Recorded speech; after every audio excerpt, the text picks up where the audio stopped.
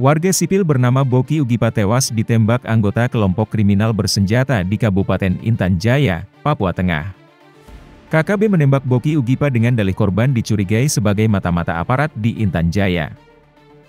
KKB mencurigai yang bersangkutan sebagai mata-matanya TNI dan Polri, kata Kapolres Intan Jaya KBP Afrizal Asri, Kamis, 16 Mei 2024. Afrizal tidak memerinci identitas Boki. Namun pihaknya masih menyelidiki penyebab jasad Boki ditemukan tanpa mengenakan busana. Kalau itu, kami belum dapat informasi kenapa telanjang. Ia masih kami dalami modus pembunuhannya, bebernya. Sebelumnya, Kabit Humas Polda Papua Kombes Ignatius Beni Adi Prabowo mengatakan insiden ini baru diketahui pada Selasa 14 Mei.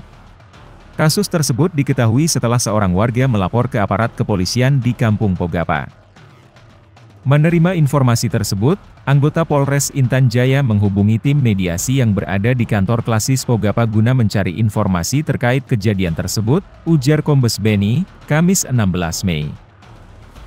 Setelah ditelusuri aparat, kata Beni, korban Boki Ugipa ditembak oleh OPM di sekitar kaki Bukit Kualagi. Penembakan itu terjadi pada Rabu 1 Mei sekitar pukul 19.30 WIB.